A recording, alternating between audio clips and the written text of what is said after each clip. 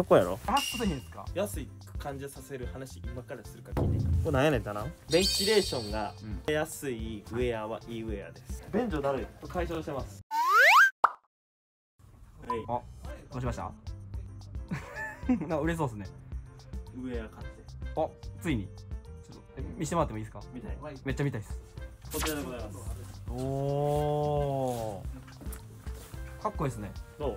いやめっちゃいい感じです井口さんっぽいなんかドクロのマークのブランドやねドクロ？ほらドクロのブランド。かっこやろ？ほんまっすね。あんま見たことない。かっこいいやん。はい。これにしようと思って。今期は。そう。こおれなんぼすん。の5万5900円。おこうしような。こうしますね。値段見てへんか下も5万。あでも安いな。上下で10万とか安ない？いやーどうなんですかね。や安いんですか？安い安い安い安い。安いんですか？安い僕からしたらちょっと高級かなっていう気はしますけど。上下で10万やろ？はい。安い安い安い。安いんですか？安い感じさせる話今からするか聞いて。あ聞きます。まずはい。アウター。アウターに関してはそこまで機能的じゃないんやけどはい。ポケット類ね、はい。ここにまあ荷物入るわけ、はいはい。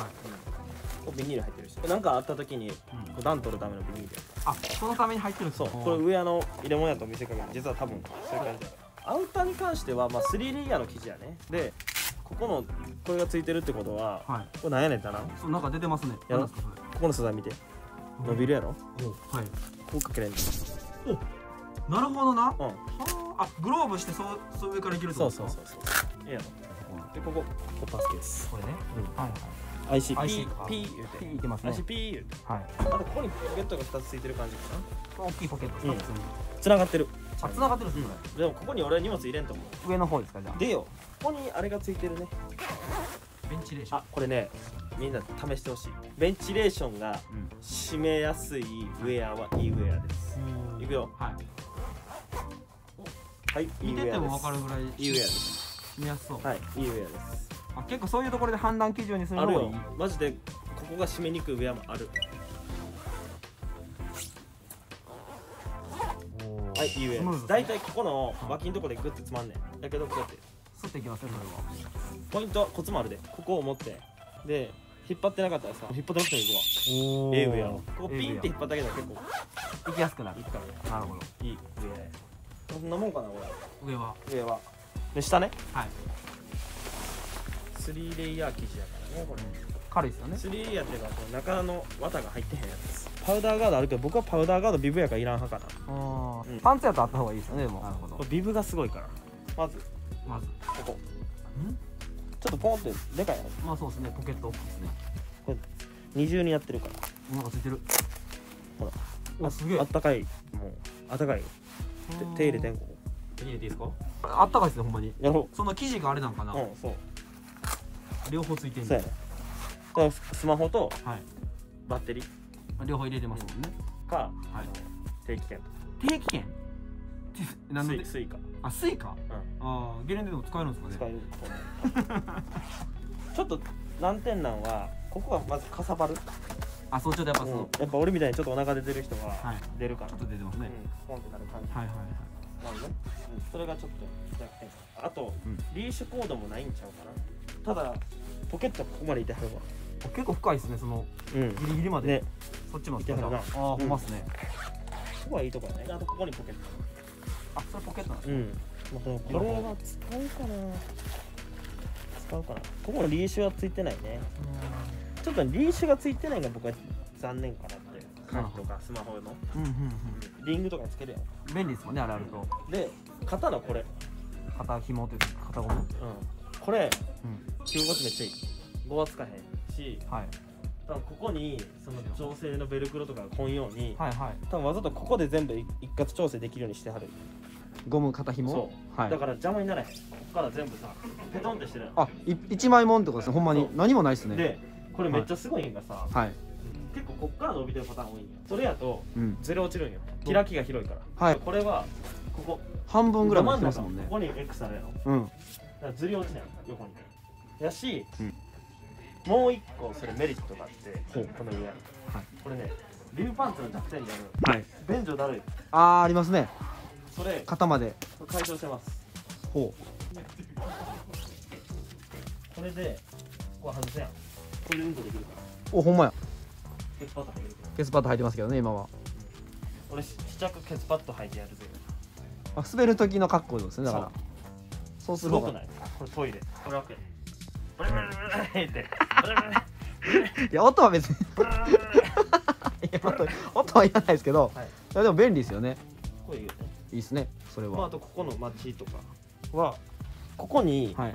ここって骨盤やんか。はい。で服ってうん。着ると着た時ね。はい。上やって着た時にはい。ここに俺すごいなと思ったんがここってうん。一番突っ張るとこなんですよ、動いたりして。うん、ここに質量薄いの持ってきてるのはわざとなんかたまたまなんか分からんけど、い。めっちゃすごいなほう。だからなんやろここに調整のやつとかないよく。あーついてますね。そういうものを持ってきてないんがすごいなと。なるほど。そこのゴムというかそれが伸びるから、そストレッチ効いてるってことですね。うで必要ないのよ。ほそれが。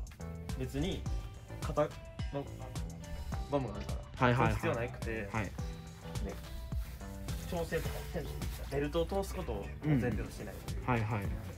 でここ開くしはい。あここもなんかあるな。そこもだから伸びるっすね。ゴムになってますね。あー腰なんや。うん。たまならんな。ならないですね。この動きに対してめっちゃ効くやん。いいですね。え？えやんいいですね。これめっちゃ考えて作られてる。すごい。ここの調整のやつもそうやし、はいはい。これすごいな、めちゃめちゃ高機能ですねうん、でこの後ろのやつはベンチレーションにもなるっていう。あーそのお尻のところね。そうそうそう。はいはいはい。めちゃくちゃ便利やん。便利ですね。で 3D でまあパイバックとかそういう絶対破れるとこやん。